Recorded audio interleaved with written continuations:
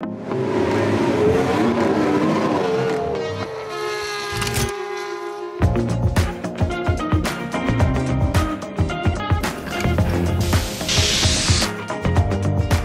the design process for the car initially starts with a review of the car from the year before, find out the performance of each logo, how it works, um, what areas we have visible.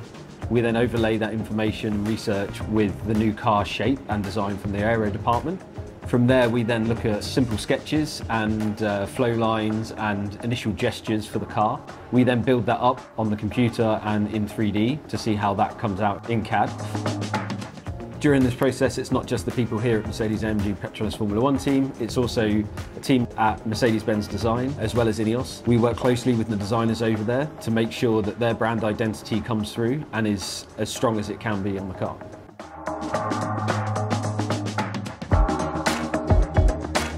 Car's here, um, we're going into the process of going from design into the production phase. The paint shops and the painters here are just getting the car prepared so we can start lining out our initial gesture lines. From there, they'll move into the more production side.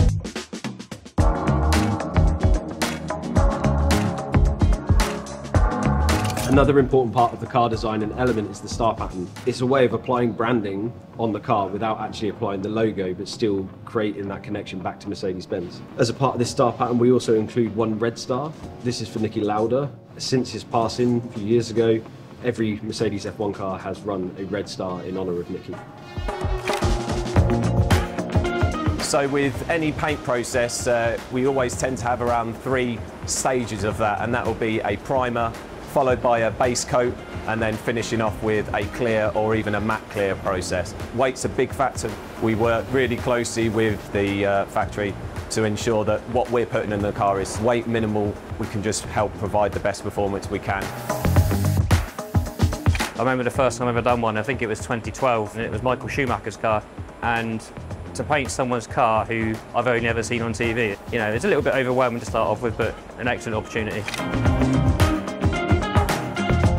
Sherwin-Williams is a really good product to use. We're happy with the way it goes on. I think it saved us time and performance in the long run as well.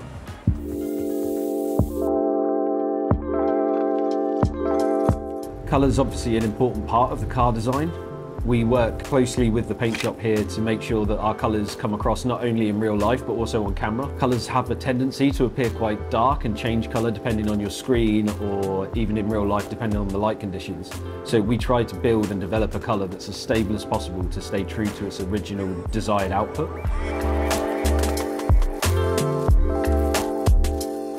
Painted the Formula One car this season, a tiny bit tricky than last year. We've got multiple colours this year. We've gone for a gloss livery rather than matte, so we can flat and polish it up to a nice high gloss. So the paint gives a very nice finish.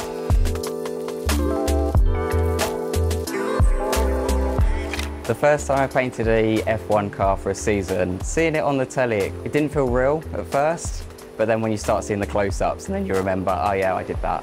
Knowing that everyone around the world was going to see that and see your paint finish does make you feel quite good. Mark and I are just putting the finishing touches to the car with the application of the final sponsor logos. After this, it'll be over to the technical team to build the car ready for testing. And that's the livery process start to finish.